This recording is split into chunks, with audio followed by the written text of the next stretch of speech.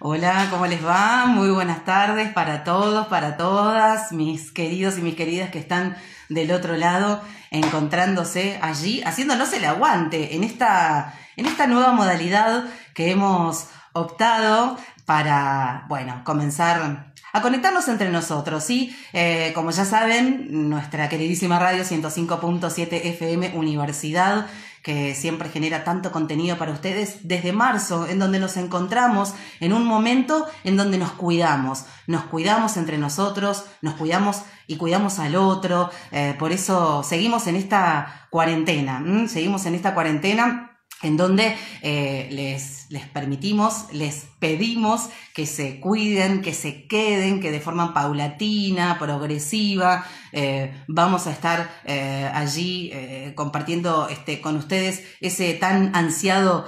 Por lo pronto, por el momento, se tienen que quedar en casa, así como estamos nosotros, con el mate. Por lo que estoy viendo es todo amarillo, fondo amarillo este, y demás, acompañándolos. Em, y a ver, hoy es una jornada también eh, muy especial porque es una jornada de celebración y que también nos encuentra en un momento crucial para nuestro país y, el mundo, ¿no? ¿Y por qué? Porque hoy estamos celebrando el Día de la Dirigencia Deportiva. Entonces, ¿qué mejor que sentarnos a charlar con ella una realmente una persona que tiene un compromiso deportivo, un compromiso social y siempre abocado al básquet, transmitiendo para la contención, para la unión, para generar, para el crecimiento, para que perdure en nuestra sociedad un deporte tan lindo como es el básquet. Y ahí la veo, la veo muy, muy abrigada entre libros, como es ella, mi queridísima Susana Treidel. Hola Susana, gracias por aceptar hacer este vivo con nosotros en este ciclo de la radio. ¿Cómo estás, Susana?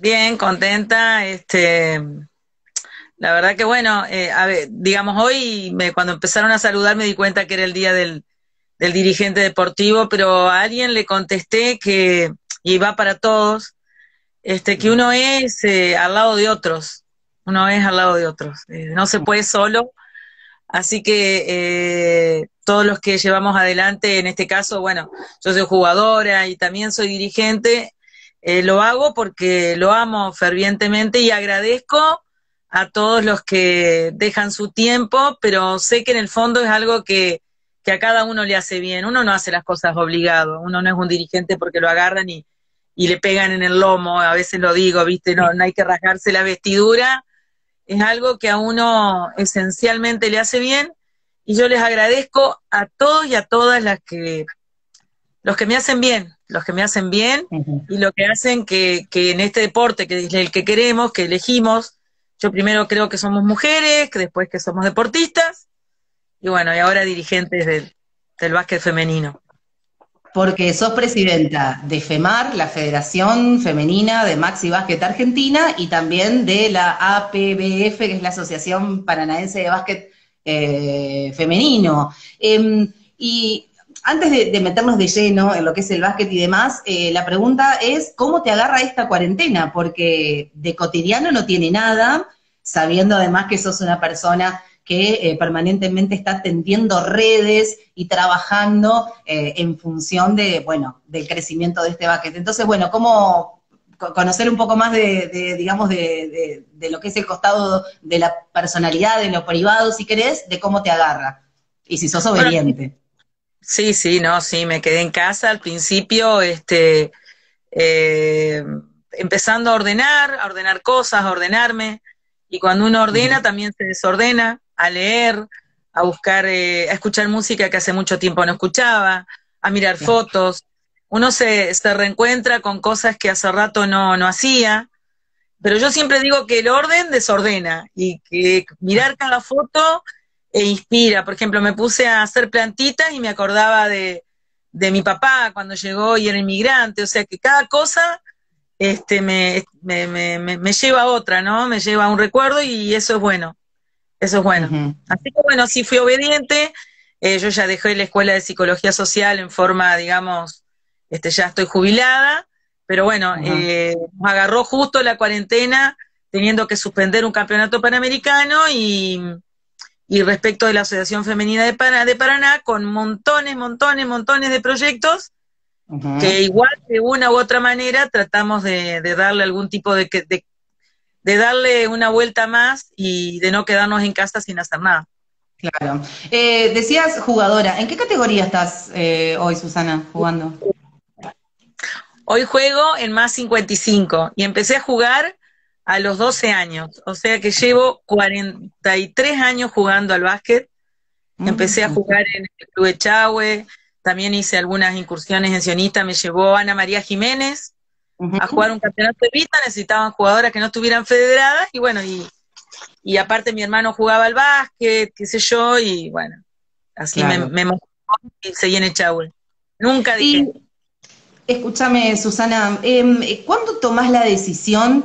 Porque, a ver, eh, sos conocida, pero no cuando digo conocida no, no, me refiero a una figura estelar ni demás, sino que lo que es eh, en el ámbito deportivo, realmente como una trabajadora de lo que es em, en funciones del crecimiento del básquet, de generar cosas para las jugadoras, para los jugadores. ¿Cuándo, eh, a qué edad o de qué modo o cuándo fue el punto de inflexión que dijiste, bueno, juego, pero a partir de ahora me empiezo a involucrar desde otro lugar, desde otra manera, porque acá falta algo y bueno, conociéndote un poco, eh, no te quedás en la queja, sino que tomás eh, cartas en el asunto y, bueno, comenzás a construir no sola, vos y el equipo. Bueno, ¿cuándo, ¿cuándo comenzás, digamos, con esa decisión a, hacer?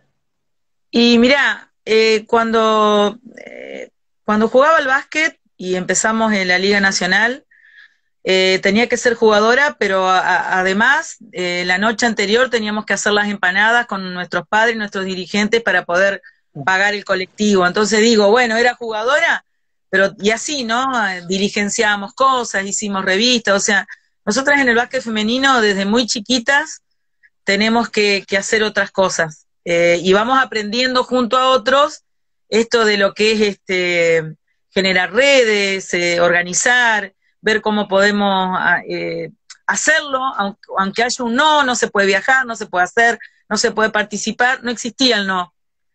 Eh, pero para que no exista el no, uno se tiene que juntar con otra gente para pensar en un proyecto para que sí. Y bueno, me parece que de ahí ya es parte de, mi vida y cuando eh, dejé de jugar al, al, básquet de alguna manera en Echagua, en la liga, eh, pensé que el básquet ya se terminaba para mí, empecé a jugar al Maxi, me invitaron a un torneo y bueno, y después me invitaron a ser delegada y, no, y y había una, una sola federación argentina de maxi básquet, donde había un comité de mujeres, ¿viste? Esos comités donde te dejan el costadito. Bueno, ustedes son el comité y no molesten mucho. Y bueno, un grupo de, mujeres, no fui yo sola, un grupo de mujeres este, a, a meterle pata, fue en Tucumán hace 20, casi 20 años, y así nace la Federación Argentina de Maxi Básquet, que hoy está desde Ushuaia hasta la quebrada Humahuaca, y en el básquet femenino, bueno, siempre lo miraba de afuera, este, siempre me invitaban, decía que no, que no, que no, porque estaba con los Maxi. Y bueno, y hace dos años nos invitaron y dije, ¿y por qué no? Eh, lo veía que estaba caído, que en Paraná había 14, hubo 14 clubes y de repente había 8. Y con un grupo de compañeras y compañeros eh, decidimos eh, declarar la emergencia del básquet femenino, todos me dijeron de todo, y yo creo que ahora que declaramos la emergencia, hay que declarar la revolución del básquet femenino. Así que bueno, eh, siempre pienso que, te doy un ejemplo, eh, se decidió que la Liga Nacional Femenina no se va a jugar este año, pero la masculina está postergada. Y entonces, ¿cómo ¿por qué? Que la Liga Nacional Femenina se suspendió ah. y la Liga de Varones postergada. No es lo mismo. ¿no es cierto? ¿Y eso a qué te lo atribuís a eso? ¿A lo mismo de siempre o a qué? Yo pienso que, tenemos que juntarnos, tenemos que pensar, tenemos que, eh, digamos, en los lugares donde hay que invertir para desarrollar más, ahí hay que desarrollar más. La dirigencia te contesta, la dirigencia actual, ¿eh? Ya sea eh, política, federativa, te dice, ustedes son menos, ustedes generan menos ustedes son menos en los clubes, ustedes son menos, ustedes son poca, los varones traen 100, ustedes traen 20. Entonces yo debería pensar que tengo que invertir donde tengo que más por desarrollar. O sea, la inversión se al revés. Eso es equidad. Equidad no es eh, pensar que si tengo 100 de un lado y 20 del otro, le doy 100 a uno y 20 al otro porque son menos. Equidad es desarrollar para que llegues a 100. Pero es un concepto que tenemos que trabajar entre todas las mujeres que hacemos el deporte y entre muchos hombres que nos van a acompañar. Vos sabés que eso te quería consultar. Eh, mira, acá estamos, estoy leyendo mientras estamos charlando en este vivo en FM Universidad, estamos hablando con Susana Treidel, eh, Carolina González eh, de Paraná, que ha jugado toda su vida, hace la referencia que en el masculino y el femenino siempre hubo una diferencia abismal que lo vivió como jugadora y que le parecía un horror, es la palabra que, nos está dejando acá en el comentario. Y bueno, eh, también eh, consultarte eso, ¿cómo viste y cuando, deciden conformar el grupo eh, que va a enfrentar a la lista que en ese momento se encontraba en, la Asociación Paranaense de, Básquet Femenino, ¿cómo lo encontraste? y digamos, ¿Y, cuál fue la estrategia a pensar para poder modificar la realidad que en Paraná hoy deportivamente se estaba viviendo? Porque habida cuenta que hay clubes que no tienen este, ningún tipo de categoría en lo femenino, ni formativa, ni maxi, ni, no sé, U18, U15, o siquiera para poder proyectar alguna selección y que Paraná vuelva a estar en el auge de, lo que fue en algún momento, como vos hacías referencia de los 18 eh, femeninos que había acá. Eh, mira, me, junto con mis compañeros que hemos iniciado esta gestión, eh, nos está costando bastante porque eh, pienso que de todas maneras una gestión de tres años, el individualismo caló hondo, no solo en, el, en, el, en la dirigencia, en el básquet, el individualismo caló hondo en la gente. Entonces es muy difícil pensar colectivamente, es muy difícil tomar acciones pensando para todos y no que solamente, te doy un ejemplo, sea lo más importante en, en mi categoría en un club, eh, en mi rama en un club, en mi solo club. Entonces, eh, esta cuestión eh, de pensar y, de fijar estrategias se, se, hace más complejo, ¿no? Mm. De todas maneras, es un trabajo que es un proceso y lo mido en términos de, de proceso. Eh, lo importante es que, nos acompañen, que, nos, que tengamos paciencia, que no abandonemos a la primera. Eh, hoy, viste, la gente se enoja, viste el grupo, viste, está en un grupo, se enojó, se enojó. Está en una pareja por cualquier huevada, se enojó. Lo miraste mal, se enojó.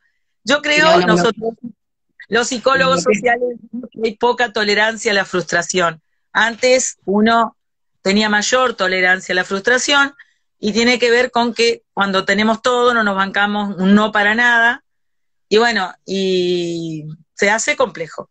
Eh, tenemos que laburar. Yo tengo esperanza que lo vamos a laburar y que ojalá podamos tener de nuevo básquet en el club universitario, en el club Palermo, en patronato, pero bueno, si la dirigencia no nos acompaña se hace complejo. Claro. Eh, Susana, ¿cómo es, eh, hablando de los clubes, ¿no? Y de esta cuarentena en donde nos tenemos que seguir cuidando y quedándonos en casa, ¿cómo es el trabajo actualmente en los clubes? que es eh, quizás por ahí lo que más demandan, lo que solicitan, lo que proponen en estos meses en donde hay una quietud general y que ese tipo de actividades, las deportivas, está previsto que septiembre, octubre, un poquito más, un poquito menos, pero con perspectiva fin de año. ¿Qué es lo que se habla? ¿Qué es lo que pueden, qué es lo que interactúan? ¿Qué es lo que charlan? Bueno, mm, empezamos a hacer charlas de, virtuales, al principio también un poco resistidas, eh, pero bueno, yo eh, digamos aparece primero la frente a lo nuevo la resistencia, ¿no? Eh, de todas maneras, algunos van pudiendo y, por ejemplo, dentro de un rato tenemos una reunión donde vamos a Hemos estado mirando protocolos eh, de habilitación de las actividades de otros lugares y las estamos estudiando.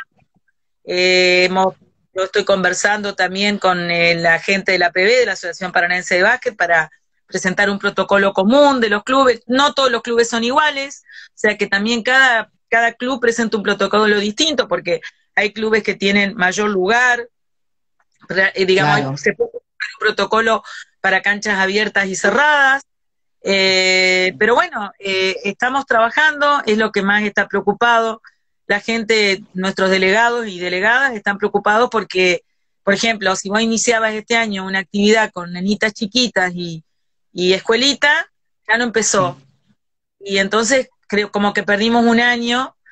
Eh, de todas maneras, se nos ocurrió armar tanto en la federación como en la, en la APBP un campeonato que se llama Quédate en casa, con destrezas de, de básquet, deportivas.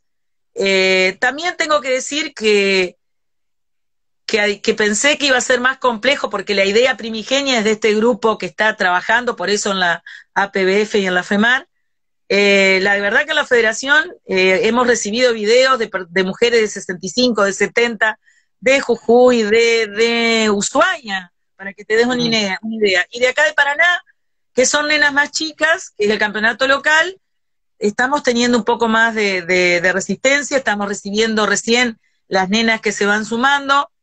Eh, personalmente no, no abdico, Claro. Eh, creo que tenemos un grupo de compañeras que aunque seamos tres, cuatro, cinco, seis, eso se va a hacer como una muestra de que se pueden hacer cosas. Que es difícil la situación, pero que se puede. Así que bueno.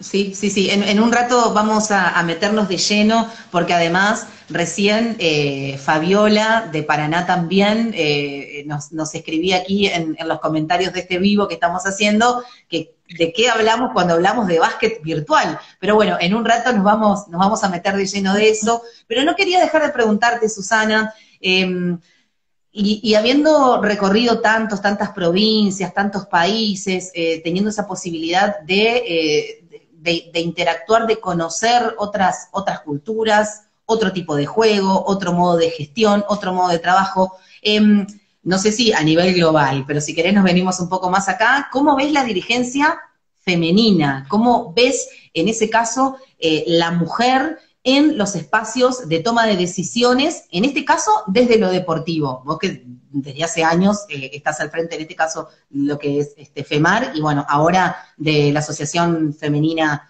de Básquet de Paraná, lo dije al revés, pero bueno, no importa. Eh, ¿cómo, ¿cómo, lo ves? Y em, ¿qué le podrías decir también como incentivo a las mujeres que quizás por ahí eh, están dudosas o titubean de, de poder empezar a ganar un espacio y animarse a generar, a crear? Mira, yo, te voy a contar una cosa. Cuando uno golpea muchas puertas, y, me ha pasado, por ejemplo, nos llamaron una vez para estar en una dirigencia de un club hace muchos años con una compañera mía, y resulta que cuando eh, los jueves eran las reuniones, íbamos los jueves, ponele, al otro jueves ya habían decidido las cosas en el asado del sábado, ¿no?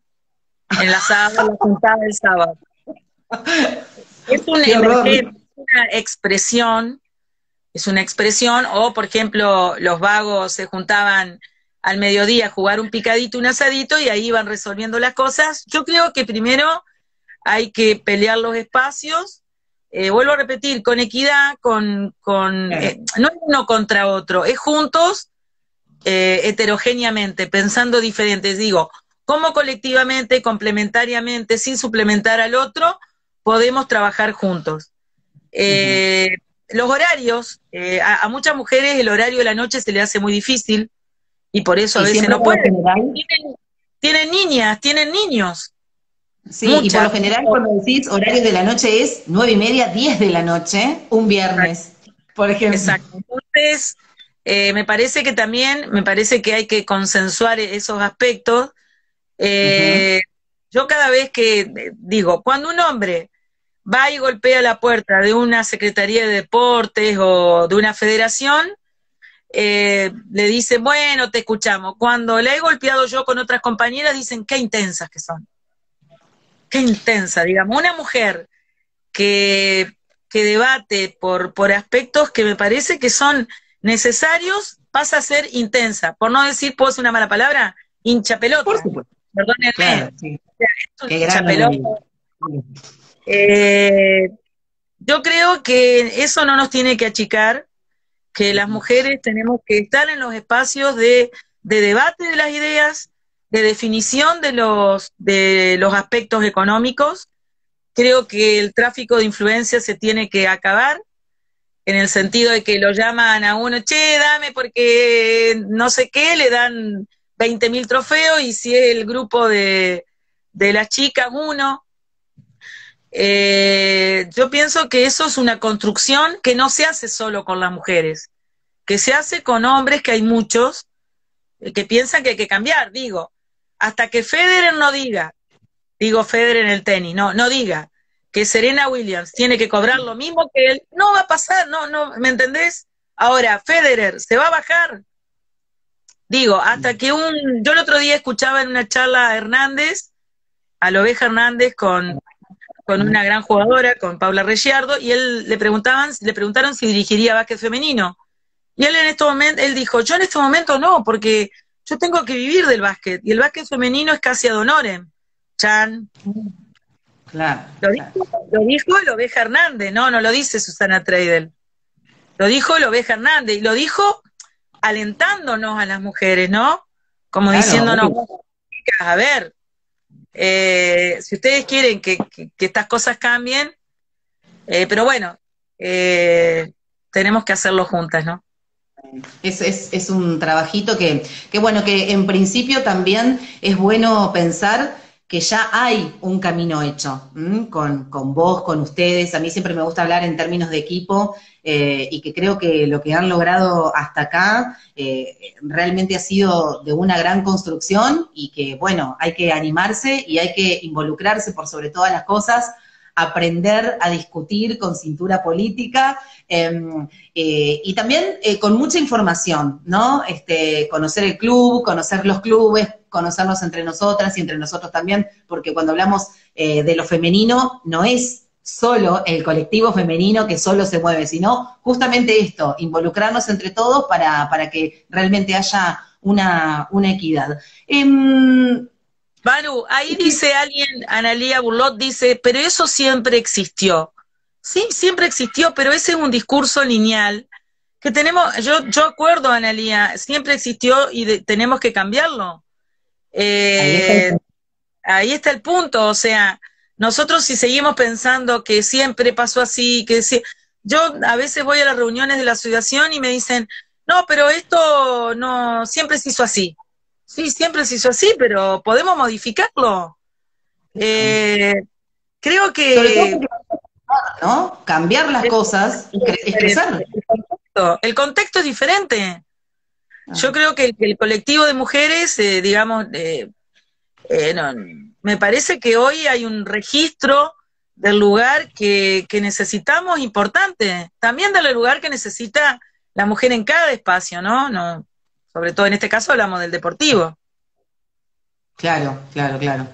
Em, bueno, otra, eh, acá nos dice, las mujeres tenemos que entender que de una vez nadie nos va a regalar nada, los espacios los debemos ganar con fuerza, con lucha, con insistencia nos dice Vane, que Vane, ajá, que aquí también está uniéndose con nosotros. Les agradecemos a, este, a, quienes están conectados, este, 26 este, personas en este vivo con Susana Treidel, eh, a quien este, es un honor realmente eh, charlar este, con ella. Y mm, su, bueno, eh, ah, consulta, ¿cuánto mm, respecto a la Asociación de Paraná, digamos, cuándo son las nuevas elecciones?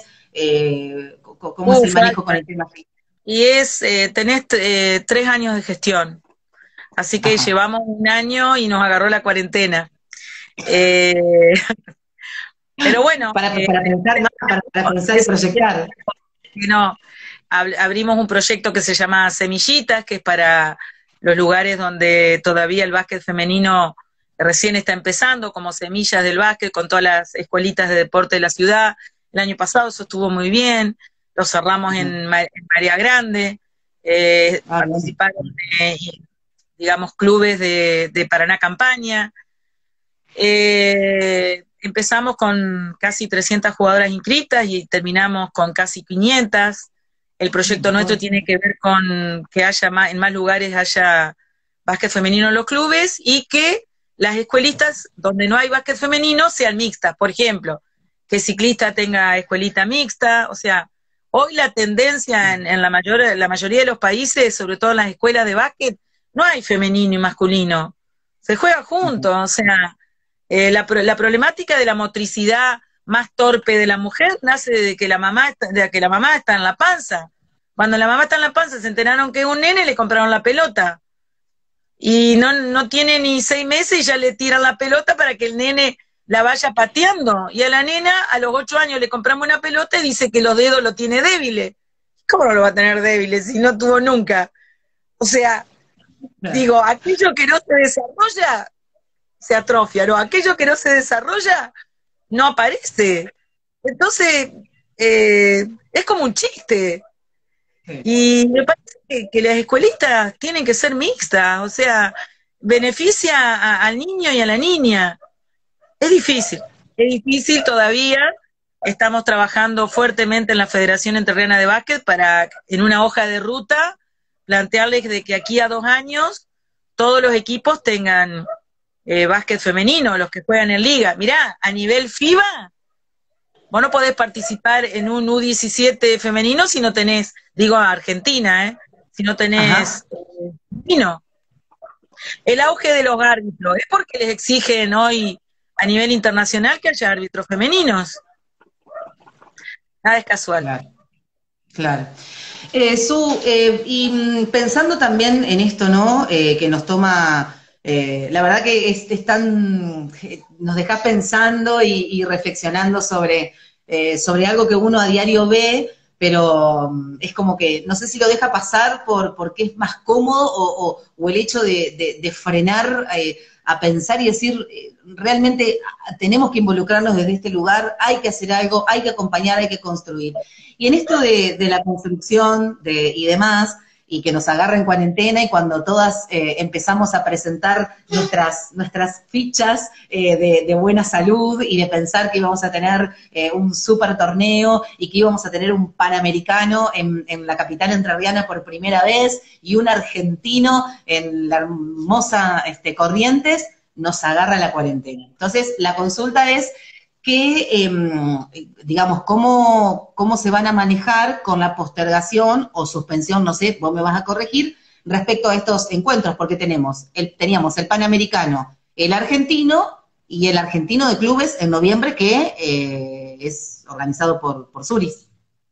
Bueno, eh, a nivel internacional se suspende, o sea, no es que se suspende, se posterga la fecha, nada está suspendido.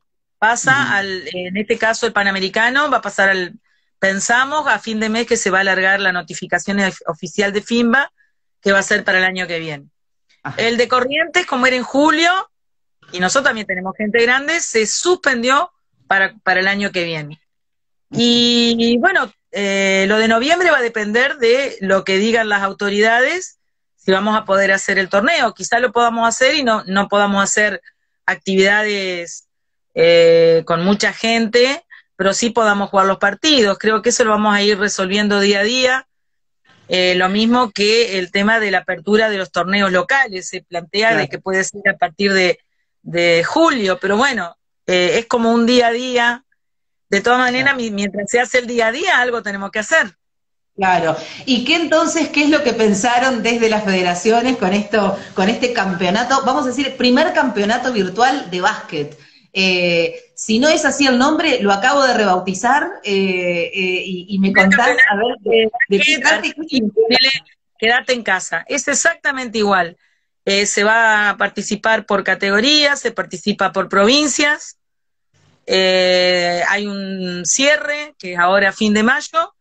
Las jugadoras mandan un video con una, con una habilidad que los equipos, los cuerpos técnicos de las selecciones ya lo mandaron ellos van a recibir los videos, van a evaluar y van a ir, eh, las 16 primeras de cada categoría, van a ir ya participando en vivo, en vivo, en la competencia. Hasta llegar el, último día, al día domingo, que van a ser las finales en vivo también.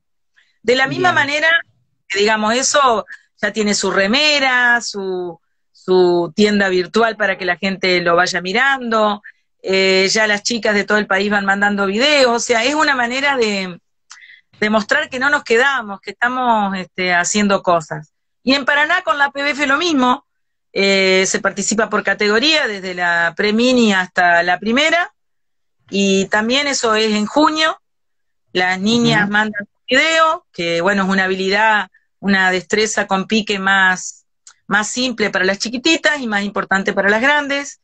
Y el eh, club que anota más jugadoras también se lleva una pelota, todas van a tener premio con certificado de participación. La idea no es quién gana, sino eh, estimular, contener, eh, estar cerca, estar cerca. Mm. Su, y, em, ya que, estamos hablando de, lleno de lo que es este campeonato, ¿hay inscripciones previas? Eh, hay alguna eh, página, se hace a través de una cuenta, y si es eh, solamente para las personas, eh, digamos, de las, de, las asociaciones, o si es libre, digamos, ¿cómo, es la modalidad? Las asociaciones son las que se inscriben a las jugadoras. O sea, es un campeonato que no tiene costo, por supuesto, y cada responsable de asociación anota a esas jugadoras en el link que tiene cada asociación y pueden ver todas las la, la reglamentación tanto en la página de la Federación Argentina de Maxi Básquet como en el de la APBF, la Asociación Paranaense de Básquet Femenino. O sea, está en todas las redes y hay un cuerpo técnico de la, de la FEMAR y también hay un cuerpo técnico de la APBF que, que está colaborando, que acompaña y que nos ayuda a pensar también, porque vuelvo a repetir, esto no, no se puede hacer solo. Hay mucha gente que, que labura para que esto pueda ser, se pueda hacer. Eh, ¿Cuántos, un número estimativo, cuántas personas son las que trabajan para poder eh, realizar esto? Y también, eh, ¿de dónde surge la idea de hacer este campeonato virtual de básquet Quédate en casa? ¿Planificando actividades o en una charla tomando mate o a través del Zoom? ¿O qué tanto lo estamos usando últimamente para reuniones y demás? ¿Cómo surge la idea de poder concretar una actividad de esta característica? Porque antes de que me contestes, eh, investigando, averiguando y demás, eh, me atrevería a decir que es una de las pocas actividades que una federación lanza para mantener contacto y, este, contener por sobre todas las cosas eh, una palabra que siempre usas mucho a través del básquet. Bueno, honestamente, quien hace muchos años nos, nos acompaña a trabajar en, las redes de la federación, que se llama Pablo, que es nuestro webmaster. Él me dijo, y tomando un mate con, con, eh, con María en casa, eh, entonces eh, nos, se nos surgió esta idea y la propusimos y, en la federación y, y, y en la asociación todos aportaron que sí, que lo hagamos. De hecho, nosotros hemos invitado a la Asociación Panera, digamos, de Santa Fe, le hemos mandado invitaciones porque digo, sí, fue nuestra idea, pero ya no es nuestra y, ojalá todos lo hagan, porque si todas las mujeres se divierten, está buenísimo, y si todas las niñas lo pueden hacer en cada lugar y después de ser desafío, está bueno. Ahora he visto que lo hacen en otros lados y, me encanta que sea así, que, hayan tomado la idea y que, que muchos la tomen y que, que siempre pensemos en que todo sea mejor para, para, para nosotras mismas y para los demás su, eh, aunque no lo pueda creer yo, hace media hora que estamos charlando en este vivo. Eh, antes de despedirte, porque sabemos que, bueno, tenés este, ahora en, unos minutos también otra reunión, otro encuentro virtual. Eh, en principio, agradecerte profundamente, y que ya lo sabes, por todo lo que haces, por el básquet en líneas generales y todo lo que has logrado construir. Em, pero además, el, el, trabajo, el trabajo en red, que eso es absolutamente eh, rescatable porque siempre, siempre en grupo, siempre hay muchas personas detrás, más allá de que solemos acudir a vos porque sos eh, una referente, y que ya lo sabes, pero también agradecerte, agradecerte estas iniciativas constantes y permanentes para que desde el deporte, que tanto sana y demás, se generen este tipo de cosas. Y que una pandemia, evidentemente, nunca te, no, te para. O sea que si no te para una pandemia y una cuarentena, ya está. Yo creo que, bueno, una de las patas, primero agradecerte, pero una de las patas que hace falta es que haya más Maru Trovato y más este 105.7 FM Universidad que nos den un espacio, porque obviamente que si no te conocen, si no saben lo que hacemos, si no nos registran, es difícil eh, contar. Eh, la tarea que se hace de básquet femenino a nivel tanto local como nacional es muy grande, solo que hay que visibilizarla más. Hay que eh, intentar que más personas estén cerca. Y por otro lado, yo personalmente quiero agradecerles a, a todos los que están cerca porque yo sin los demás realmente no puedo. Mm. Soy una, este, parece que no, pero soy una dependiente compulsiva. O sea, siempre necesito a otros, siempre necesito a otros para, para hacer cosas. Así que bueno. Mm. Eh, así que gracias, Maru. Por favor, eh, siempre nosotros eh, a nuestros invitados, nuestras invitadas que nos dan su tiempo, que nos regalan su tiempo, y más ahora con esta modalidad que eh, requiere también de toda una preparación previa, amigarnos con la tecnología, buscar espacios donde más o menos estemos cómodos para poder charlar. Eh, siempre lo que sea que necesites eh, difundir y que nosotros contemos y sepamos que están haciendo desde la asociación y desde la federación, ya sabés que contás no solo con el corazón de la mañana, sino que contás con la radio porque vamos a estar allí cubriendo y difundiendo. Así que, Susana, te agradezco. No sé si querés eh, algunas palabras finales y así ya nos vamos despidiendo de este vivo. Chao, gracias, nos vemos. Muchas gracias. Bueno, este, agradecerles también a quienes estuvieron, va, 26, hicimos con tope de 28 casi, las personas que estuvieron del otro lado compartiendo una nota maravillosa. Siempre Susana nos deja, nos deja pensando, nos deja pensando y nos genera esa necesidad de seguir construyendo, de involucrarnos, también de cubrir y de dar a conocer, porque el trabajo realmente que se hace en el femenino Em, que ahora se empezó a hacer desde lo que es este Paraná, pero a nivel nacional con FEMAR, con el MAXI, realmente es un movimiento imparable con un colectivo de mujeres que tienen una energía y que sobre todo contiene. Estamos hablando de categorías que superan los 70 años, superan los 80 años, con todas esas actividades que tenemos eh, para poder disfrutar y las personas que aman el básquet seguir haciéndolo. Así que le agradecemos a Susana Treidel, que en este caso estuvo compartiendo con nosotros eh, un momento, de su momento. Eh, estamos hablando de la presidenta de la Federación Femenina de Maxi Básquet Argentina y la presidenta también de la eh, Asociación Paranaense de Básquet Femenino. A todos los que están del otro lado y que nos acompañan en este ciclo de charlas que tenemos en 105.7 a través del vivo de Instagram, le queremos agradecer profundamente, porque nosotros, como les contamos, desde nuestra radio nos seguimos cuidando, seguimos transmitiendo desde nuestra casa y seguimos cuidando al otro y a la otra, a nuestro entorno. Ustedes hagan lo mismo porque todavía la cuarentena no se levantó, eh, tengan paciencia, que esto realmente es una construcción general. Así que les mando un beso enorme, gracias Leo, gracias Caro, gracias Lu, eh, Meli, Marian, Pitu, Caro, otra Caro también por ahí, Avane, Coti, que recién nos saludaba, y otros tantos que se van conectando desde allí y que nos están dejando sus saludos. Gracias por el aguante y sigan conectados en 105.7 FM Universidad. Nos vemos hasta un próximo encuentro.